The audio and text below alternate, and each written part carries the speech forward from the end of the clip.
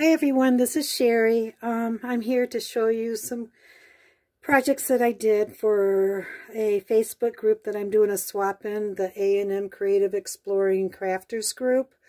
Uh, we had to make a stacked envelope, friendship envelope for our swap partner and it had to be a shabby chic.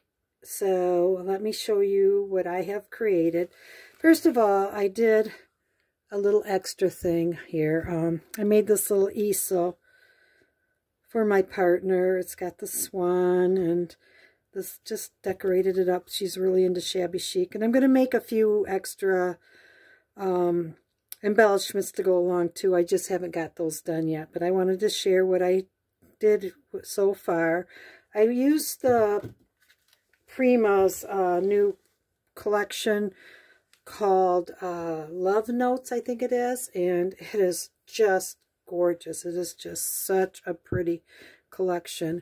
If you look close, I tucked in a some die cuts. Here's a die cut, and then I made these little, uh, whatever, they're little tabs that I call them, I guess, and out of some of the extra paper, and here's a die cut from the collection, and here's some more tabs right here, and here's a heart, that I used the, the die cut and then I just took a lot. These are the Prima flowers that I bought. It's part of the collection too.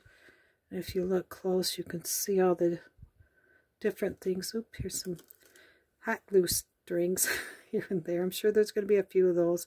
I added some of my butterflies from my from my uh, collection that I, I love butterflies so I did add a couple of butterflies to it and is just which I enjoy making and crafting and it is just so much fun. I thought about putting some pearls in there, but it has so much already. I decided not to because I really like the way it looks, the way it, it turned out just fine to me.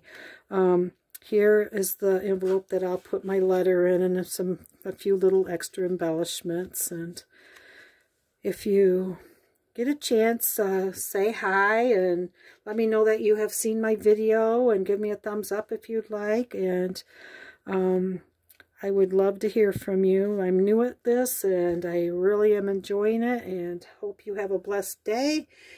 And I will be back later with more videos. Bye-bye.